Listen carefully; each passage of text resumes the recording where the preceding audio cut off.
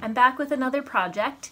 Today is going to be a story followed by a project. This is probably best for grade levels first through third. It could be adapted down to younger kids um, or made more complicated for older kids. I invite anyone to try. So today we're going to um, link you to the story Giraffes Can't Dance in YouTube and then you're going to come back to the studio with me and we're going to create this fun little dancing Gerald giraffe, Gerald the giraffe, because he proves that giraffes actually can dance. So we'll see you in a minute.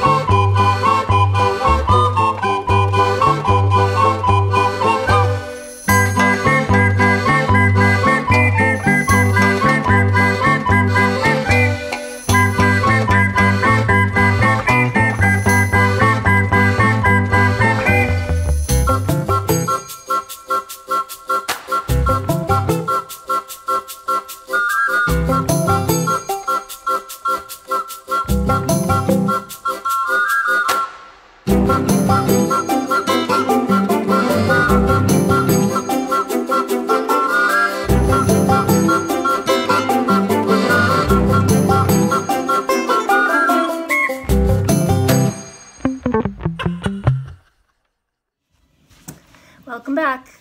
I hope you had a good time making Gerald. As you can see, I have my two examples in the back. For the example that I showed you in the video, we used water-based markers so we could use it like a paint um, with just plain water over. The other one I used just colored pencils. If you don't have good watercolor paper, the watercolor water-based marker won't work very well. Um, but experiment just have fun, play with the materials, see what works, see what doesn't, do it again and again, and try Gerald in a lot of different positions because he's dancing. Thanks, bye.